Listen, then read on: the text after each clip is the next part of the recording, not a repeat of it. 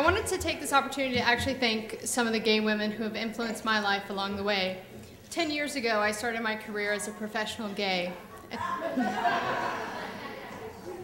I actually got to work with Elizabeth Birch at HRC during a time when we did the first March on Washington and Equality Rocks, and then with GLAAD at, with uh, Joan Garry. And I learned about this term visibility, about how important it was to be actually visible in our communities and the work that we do. And then I retired as a career professional gay and became a volunteer gay.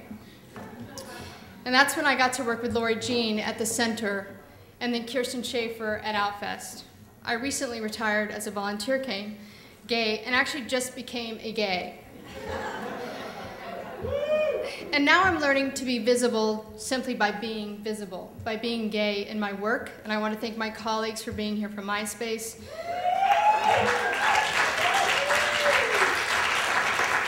by being visible with my family, and my dad came here from Oklahoma to support me.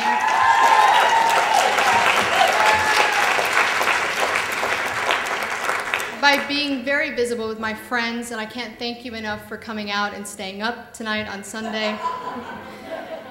and I really want to thank the most extraordinary woman I have actually had the pleasure of meeting lately, who reminds me every day just how gay I am. So thank you, Lisa.